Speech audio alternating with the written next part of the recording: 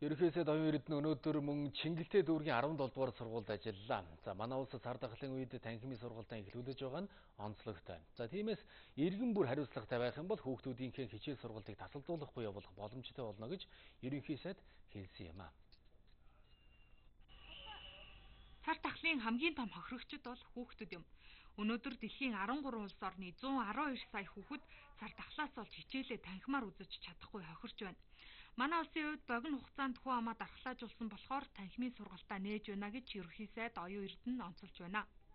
А танхимаар хичээлэхгүй танхимаар хичээлээд болох гэсэн өөрөө маш их тийм хичээлийн хоцрогдол орно. Энэ маань өөрөө дараагийн одоо нөхөж барсгүй их том нэг үеийн хохирол болох гэж байгаа учраас бид нар бас амаргүй эрсдэлтэй шийдвэрүүдийг одоо хамтдаа бас гаргаа явуулж байгаа юм шүү. Тэгээд эцэгчүүд бас хичээлийн шинжилгээний баярын мэнд хүргье. Тэгээд хамтын хариуцлага, хамтын чармаалтаа хэдүүлээ цар тахлыг даван туулж боловсролынхаа салбарыг бас аварья гэж уриалгыг хүсэж байна. Ерхий сайжээ. Өнгөрсөн 2 жилийн хугацаанд хүүхдүүд цахимаар хичээлээ үзсэн. Нөгөө талаас цахим хичээл боловсролын байгууллагуудыг шин шатанд хөгжүүлсэн гэж 17 дугаар сургуулийн захирал хэлж байна.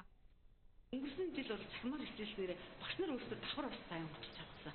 Тийм мөн одоо сурагчид маань бол зөвхөн ганц жилийн хичээл гэж үздэг байсан бол сургуулийнхаа нөгөө соол систем рүү ороод өдөр тутмынхаа яг ингээд танхим тууж байгаа юм шиг. Танхимаар 2 жил хичээлээгүй юу? Танхимаар 2 жил өнгөрсөн 11 сараас хойш дандаа танхимаар хичээлсэн. Хичээлийн хоцрогдлыг арилгахад цахим платформ ашиглана гэж салбарын сайд мэдээлж байна.